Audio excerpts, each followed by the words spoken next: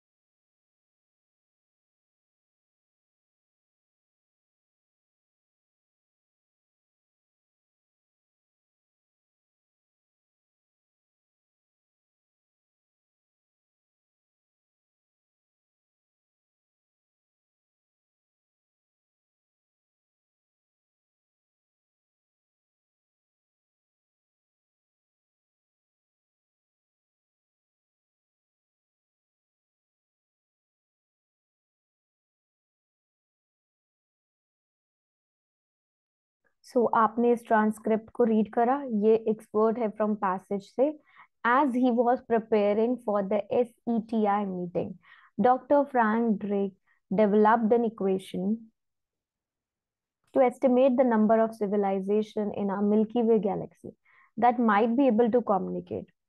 Drake's equation involves several factors, including the average rate at which the stars from the number of those stars that have planets and the average number of those planets that could support life.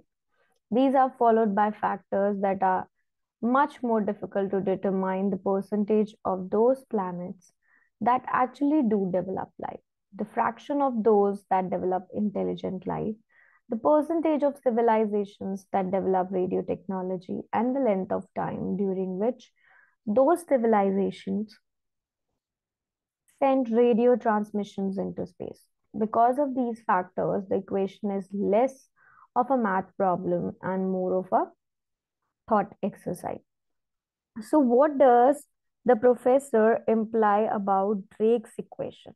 अब वो क्या imply करता है किस चीज को refer कर रहा है क्या चीज एक्सप्रेस कर रहा है किसके थ्रू ड्रेक्स इक्वेशन के through so what do you think क्या आंसर हो सकता है सो इम्प्लाइज बेसिकली इम्प्लाई का मतलब क्या होता है एक्सप्रेस प्रोफेसर क्या एक्सप्रेस कर रहा है? ड्रेक्स इक्वेशन के through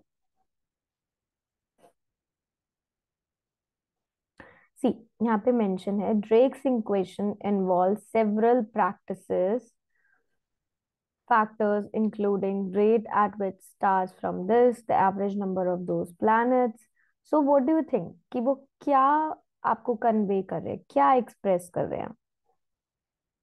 First option, it cannot be used to accurately predict the number of civilizations that can communicate with humans. It relies upon multiple variables, so it requires powerful computers to answer. It can provide good estimate of the number of worlds that harbor life or it was intended to encourage conversation at the first SETI meeting S E T I meeting so आपको क्या लगता है which is the correct answer by listening to the audio you have to be very careful आपको बहुत careful रहना है। अपने questions को रीड करते रहे। Now if we start from the D it was intended to encourage conversation no ये incorrect है because Drake was Drake's motivation to create equation is not mention ये कहीं नहीं लिखा। C it can provide a good estimate of the number of words that have a life ये contradict करता है। ये एग्जैक्ट नहीं दिया, इसका ऑपोजिट दिया है, देखो। It relies upon multiple variable so it require powerful computers to answer incorrect है बिकॉज़ लेक्चर में तो कहीं मेंशन ही नहीं है कंप्यूटर्स का right A one A one is it cannot be use accurately predict the number of civilizations that can communicate with humans. This is correct because professor ने ये चीज बोली है. Because of these factors, the equation is less of a math problem and more of a thought exercise. So this statement implies कि equation cannot actually be solved. Solve नहीं हो सकती, right? So A is the correct option here. For better explanation, you can see explanation part also.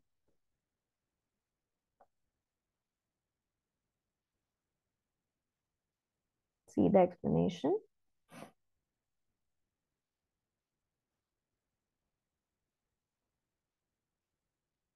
Now let's do one more question. Again, read this excerpt from the lecture. It's an audio recording.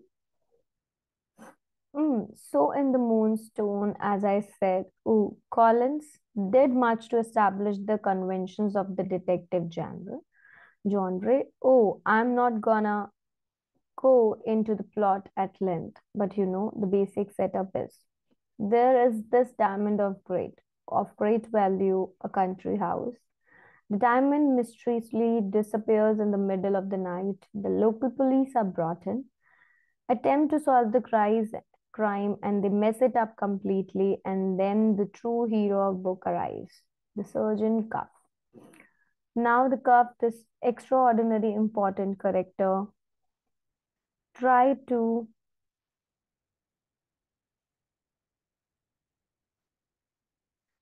try tried to give you a sense of who Sergeant Cuff is by first describing the regular police.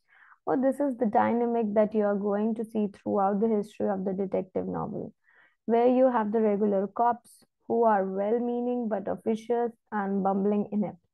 And they are countered by a figure who is eccentric, analytical, brilliant, and able to solve the crime. So, first, the regular police get called in to solve the mystery, in this case, detective. Superintendent Seegrave. See, Superintendent Seegrave comes in when he orders his minions around. They bumble and they actually make a mess of investigation, which you will see repeated. You will see this pattern repeated because, particularly in the Sherlock Holmes story of a few years later, where you, Inspector Lestrade, this well meaning idiot is always countered by Sherlock Holmes, who is a genius. So, when you go through this recording, let's have a look at the question. So, what does the professor imply when he sees this? Let me try to give you a sense of who Sergeant Cuff is by first describing about the regular police. Right? The question is, what does the professor imply when he say this? What do you think? So we can see that this is an inference question because they have used the word imply है ना उन्होंने यहाँ पे क्या use करा है imply use करा है and now they ask the listener कि आप इस meaning understand the meaning of something जो यहाँ पे directly state नहीं किया गया so let me try to give you a sense of who Surgeon Cuff is by first describing the regular police. So वो यहाँ पे आपको hint मिल रहा है कि there is a difference between behavior of regular police and that of a Sergeant Cuff, Right? आपको एक hint दिया जा रहा है. So this contrast is supported in other parts of the passage. For example, अगर आप देखो तो speaker ने describe करा regular police as bumbling inept. उन्होंने ये भी बोला है he also says it is common in detective novels for them to be countered by specific character. In this, Sergeant Cuff, जो कि brilliant है. Taken together, अगर हम ये दोनों चीज़ों को देखें, so we can say that the answer A, surgeon curve is unlike the regular police in the moon stone so ये फ़र्स्ट वाला क्या है? इसका आंसर है राइट right? तो आपको ये देखना है कि वो क्या एक्सप्रेस कर रहे हैं। What does the professor imply जब उसने ये बोला right so I hope I am giving you one last tip here is कि listen to the recording of two speaker different view points को देखो सेम टॉपिक पे वो कैसे बोल रहे हैं। What words do speaker use support करने के लिए अपने आइडियाज़ को? वर्ड्स नेगेटिव है कि पॉजिटिव है? क्या एक्सप्रेस किया जा रहा है पॉजिटिव और नेगेटिव आइडियाज़ के through by saying them directly right और आर द वर्ड्स पॉजिटिव और नेगेटिव क्या वो पॉजिटिव और नेगेटिव हैं? क्या आपको यहाँ पे कन्वे किया जा रहा है? So I hope you got an idea कि कैसे आपको लिसनिंग इन्फ्लुएंस क्वेश्चन को अटेम्प्ट करना है। क्या फ्रेजेस और वर्ड्स यहाँ पे आने वाले हैं? So take the first step go to the baby code application download it keep practicing and keep learning and our live sessions can be a game changer for you thank you so much for watching our live session number 14 of listening module please listening module के सारे sessions को जाके देखो and try to complete the listening module reading module भी हम complete कर चुके हैं and listening is also done from the next session I am going to start something new Thank you so much. Stay tuned. Bye bye. Take care, all of you.